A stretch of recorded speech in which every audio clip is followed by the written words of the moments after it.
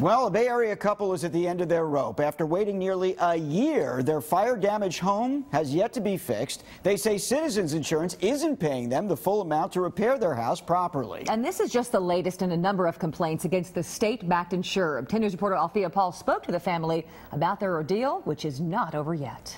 I don't think we could afford a house. Jonathan and Mary Ellen Sheldon thought they'd be back in their own home by now. It's been extremely frustrating. Um, you just, you know, living life, you have your own challenges, and then you have to deal with this on top of it. It just seems like a burden. Back in January, an electrical fire damaged their St. Petersburg home, where they lived for 15 years. It needs to be gutted.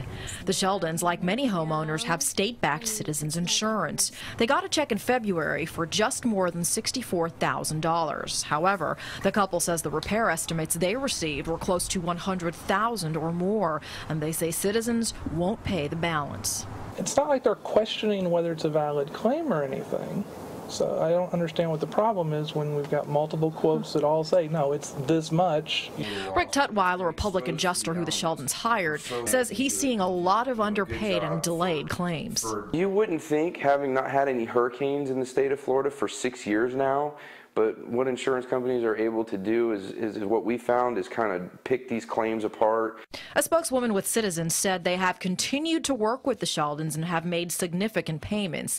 She adds they have been very responsive with the claim, want to resolve the issues, and would accept and review any other documents and information the couple has. The Sheldons and their three children have been living with Mary Ellen's mother. They've hired a lawyer to get the money to fully fix their house. In the meantime, all they can do is wait.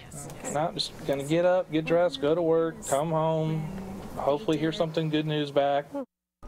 Now, the Sheldons say that their lawyer has filed a suit for breach of contract. They're hoping to get about 117,000, what their adjuster has estimated for the repairs. Meantime, they are still paying their insurance premium and mortgage on that house. Melanie. Wow, Thea, very frustrating. By the way, Citizens plans to make some moves to shrink its coverage and the risk to taxpayers. A panel of executives will give some recommendations to the governor and the cabinet coming up next week to put the brakes on growth. With roughly one and a half million policyholders the state-backed insurer is easily the largest property insurer in our state. Governor Scott and top Republican lawmakers are fearing the insurer would suffer massive losses if a big hurricane does hit. Unlike private companies, Citizens does have the power to place a surcharge on nearly every insurance bill if the state cannot cover such losses.